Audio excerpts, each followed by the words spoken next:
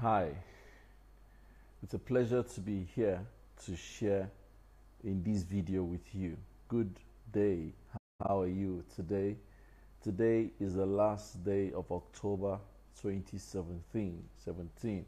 We thank God for giving us the opportunity to be alive, to be healthy, to, to be gracious, to, to learn of Him, and to be at peace is the blessings of God. I want to say thank you for joining this video.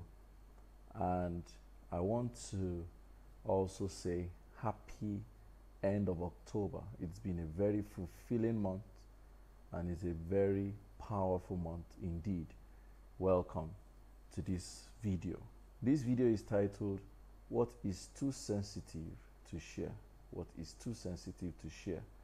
I'd like you to please share this video because it's probably going to empower someone. It's probably going to, you know, encourage someone. It's probably going to motivate someone. But like I said, the video is titled What is Too Sensitive to Share? This morning I posted an, an image on Instagram and Facebook and I questioned it. I said, What, in your opinion, is too sensitive to share? And as I speak with you, I haven't received any comments on the video. It's been almost two hours, if I'm not wrong. So, um, okay, my voice is too low. Please let me know if it's louder now. Thank you, Bashira, for pointing that out. Please confirm if my volume, if you can hear me more audibly, just write it in the comment. So, it's been over two hours since I said, you know, and I shared that image asking, what is too sensitive to share, in your opinion? And nobody has commented which just validates my suspicion and my concern and the purpose for this video. We have determined that some things are too sensitive to share, and which is why the state of mental crisis and emotional crisis is going very high. This morning, I had a conversation with a client, and we're talking about how people are overwhelmed and how people are going through a lot of challenges and their, their, their mental stress is going up. One recipe for increased mental stress and emotional trauma is secrecy. One recipe for increased mental, emotional, psychological trauma is that something is too sensitive to be discussed. I used to have those problems. I will tell you the honest truth. I used to say, no, I'm a known person. Oh, I'm a public person. Oh, I am a private person. Oh, I like to keep my things private, which is true, yeah. But the thing is, when is anything is too sensitive to share with anyone, then you probably are setting yourself up for a crisis. Thank you, Coach Kemi Oyesola, for your feedback and comment. God bless you. I appreciate you, ma. So if at any time you feel something is too sensitive for anyone to know, you are setting yourself up for a doom, for major fallout. So this video is asking all over again, what is too sensitive to be shared? First, let's define what sensitivity may mean. Sensitivity would mean that this is something, a subject I cannot handle talking to someone about.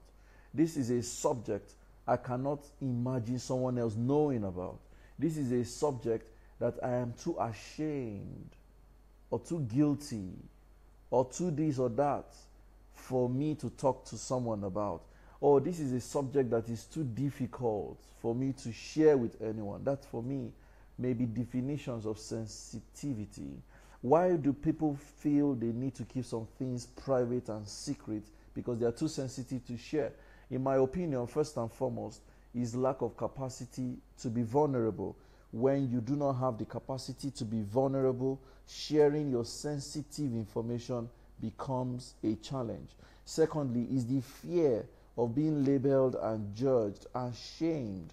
It's because people begin to think that, well, if I share this with someone, someone else we know, and I may be shamed, I may be, you know, I, I may be you know, blamed, I may be, you know, cursed. society has made it very difficult for us to share, you know, our sensitive information because we will be shamed, we will be judged, and we will be blamed. So that's the second reason. Fear is the second reason why people think some things are too sensitive. Thirdly, some things, yes, are very grievous. And we say, wow, nobody has to know this. Nobody must know this. It's very true. Very, very true. You know, and I, I understand. I understand. There are just some things that are very difficult to expose, very difficult to share. You know, but I am growing into a new learning that really, first and foremost, there is nothing you have done that cannot be shared for yourself, for your sake. I have come through some months and years of very difficult experiences personally. I've come to the point where I feel that if I will be at peace with myself, if I will be personally happy, if I will be serene, if I will be joyful, if I will be happy, then I need to bring myself to be vulnerable to share the depths of my crisis with people, with persons, with individuals that have a potential to not do anything, not necessarily because they can do anything, but they can listen to you. I found out psychologically that when you have shared your burden, oh, my master is here, Usa, thank you for joining. Temitayo, thank you for joining. Ifeanyi Chukwu, Elijah, thank you for joining. And several others, Fresh Bashi, thank you for being here. You know, I found out that the moment you allow yourself share your burden, Pansha Gomez, thank you for joining. The moment you sh- allow yourself share your burden, share that sensitive information, you're on the path to freedom. Freedom is so important. Freedom is so important. Mental freedom. The state, you see, when the Bible says it is necessary for you to be at peace with man and with God. That statement is so important. But to be at peace with man is to be sure that everyone with whom you have an interaction has a clear cut understanding what you do, what you believe in. When I have interaction with you, I need to make it as transparent as possible with you. When I have reservations about you, I need to be able to open up. You see, I had a difficult challenge two days ago. A particular scenario or conversation was playing out. And on an unusual day, I will dodge a conversation that is becoming confrontational, becoming too sensitive, becoming too feisty. I will ordinarily withdraw and sidestep. But in this case, I placed the call. I talked about how I felt. And I said, I'm not happy. That happened yesterday morning, I remember. I said, I'm not happy about this particular scenario, but it's beyond my control. I needed to express how I felt. And it just instantly gave me a lot of relief. So I want to ask you when you feel something is too sensitive to be discussed, how does that make you feel? Does it resolve anything? Does it suddenly make you feel at peace? Or does it just build up? You keep expanding on it, you keep exaggerating it, you keep drawing dimensions that probably are not even existent. And then you put yourself under more pressure. So I really think that, you know, we need to begin to re emphasize and de emphasize what we call sensitive information. We need to begin to redefine what we call sensitive information. Don't allow yourself to be cracked and bundled into emotional trauma by the things you call sensitive information. First and foremost, be willing to share with one person. And if you share with one person, be willing to make yourself more vulnerable. Grow capacity. It's not an easy thing. I will tell you the honest truth.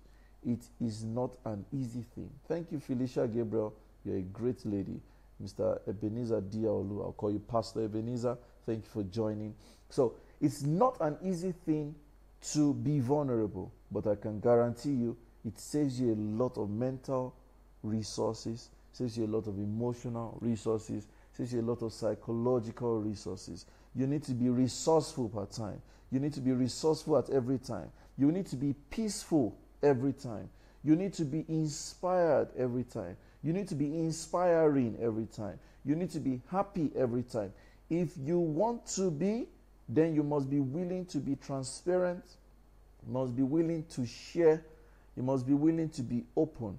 There are very difficult situations that stand and stare at us at the face on our faces, but then we need to grow capacity to be vulnerable. Yesterday I told a friend, I said, at my stage now, there is no information that ever becomes in um, you know that ever becomes too sensitive that I will not ride with.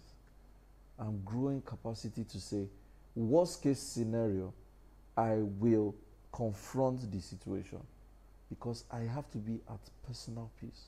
I have to be in a place of personal resourcefulness. I have to be in a place where I am free from my own self, from my darkness, free from my darkness, free from my secrets, free from my limitations, free from my misconceived perception of what people have about me, free from the things people think I am that I am not, free from the self imposed limitations and the branding and the, you know, perspecting different things. So, so I, I, I strongly recommend that, you know, grow capacity to be that. Now that brings me to this point. I want to share with you my book. I had an ebook I released earlier this year titled The Mirror of My Darkness. That book contains a lot of information about many sensitive information that will ordinarily not be in the domain out there. So I want to share this book with a thousand people. That's my goal. Only 1,000 people. I want to send it directly to you as an email. I'm going to schedule an email that will go to exactly 1,000 people. So if you're interested in receiving this e copy, I want you to leave your email address in the comment section or send your email address to subcar at subcaronline.com. Leave your email address in the email sec- comment section or send your email address to subcar at subcaronline.com and you're going to receive this ebook. But it's not for free.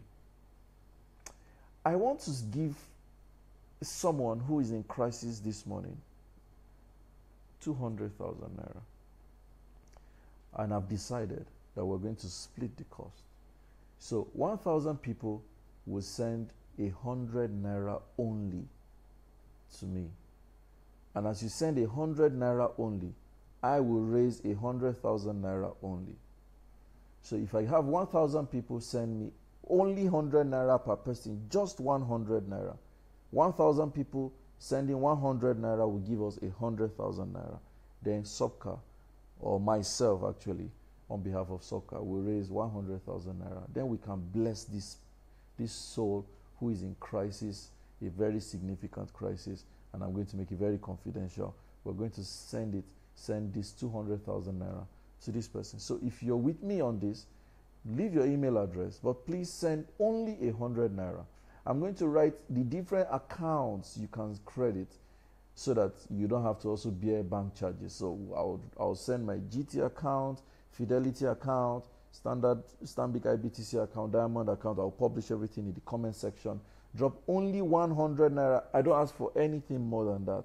Share this video so that more people are able to watch it more people are able to reach it, and then they're able to send a hundred naira. We need 1,000 people that will send us 100 naira each, and each of these 1,000 people will get the copy of my ebook titled "The Mirror of My Darkness" via email. That is a promise. Are you with me on this? Please, someone watching this video should ensure we hit 1,000 people that send in 100 naira only. And we have 1,000 email addresses and we will definitely send you the book for free. If you're with me, please support me to do this.